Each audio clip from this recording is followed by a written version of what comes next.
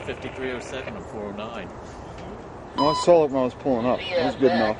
Equipment defect detector. Milepost Niner point zero. Track two.